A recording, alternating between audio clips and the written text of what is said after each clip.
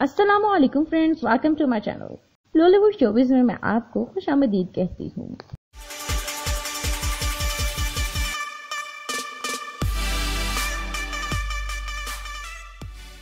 दोस्तों, मशहूर अदाकार, जिन्होंने सबार ड्रामा में एक्टिंग की है, वो हो गए हैं एक जानलेवा बीमारी के शिकार।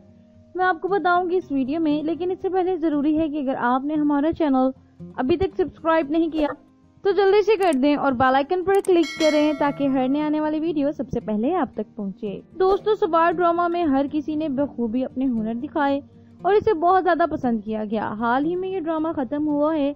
इसके मशहूर अदाकार उस्मान मुख्तार हो गए हैं कोरोना वायरस का शिकार। दोस्तों, हम सभी ये जानते हैं कि इस साल कोरोना वायरस ने बहुत सी पाकिस्तानी कीमती जाने ले ली हैं और उनका सदमा अभी तक भी सबको भूला नहीं है। उस्मान मुख्तार को इंडस्ट्री में बहुत ज़्यादा पसंद किया जाता है। उन्होंने ड्रामा से पहले फ़िल्म में भी एक्टिंग की हुई है, जहाँ पर इनके बहुत ज़्यादा फैंस मौजूद हैं। और ड्रामा इंडस्ट्री में भी इनके काम को बहुत पसंद किया गया। जब इन्होंने सारा खान के साथ काम किया तो इन्हें बहुत ज़्यादा पसंद किया जाने लगा।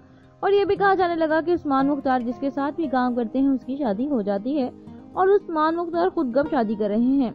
लेकिन दोस्तों, अफसोसनाक खबर ये है कि उस्मान मुख्तार को जानलेवा बीमारी कोरोना वायरस हो गया है, जिसकी वजह से वो अस्पताल में एडमिट हैं और इतनी सीरियस कंडीशन है और उन्होंने अस्पताल से ही अपने फैंस के लिए पैगाम भेजा है कि मुझे कोरोना वायरस हुआ है।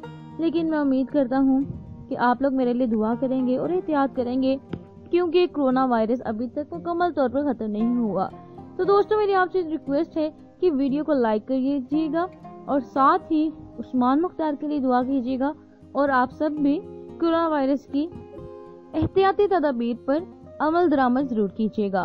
उम्मीद करती हूँ आपको वीडियो पसंद आई होगी। मिलती हूँ अपनी अगले किसी अच्छी वीडियो के साथ। तब तक के लिए अल्लाह हाफिज़।